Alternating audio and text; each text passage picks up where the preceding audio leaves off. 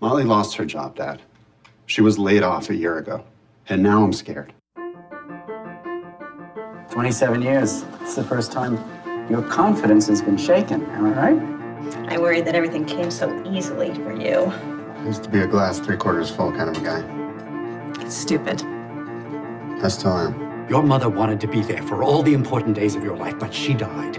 We're starting from scratch. We're going to Low in Norway. We're moving to Norway. You're running away from home. I don't want to fail here. I don't want your gratitude for what I did for you in your life, and I absolutely will not pay for it. Money doesn't grow on trees, you know? Molly made a good living, Dad. Now I support Molly. There's your mother.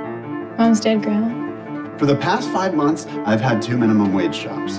Never had to look for a job before. Not once.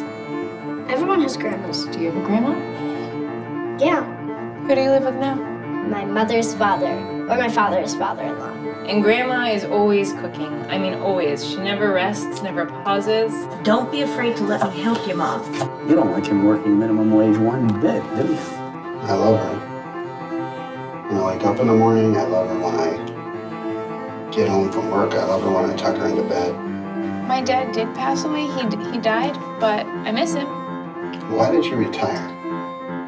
Women live longer than men. Do you know that? That's what people have told me, but I live with a man. All the women in my life died.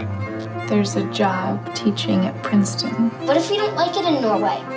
What if we just grow up to be like 60 years old and then all you get is more tired? Isn't being tired hard work? $120,000 is all you have left?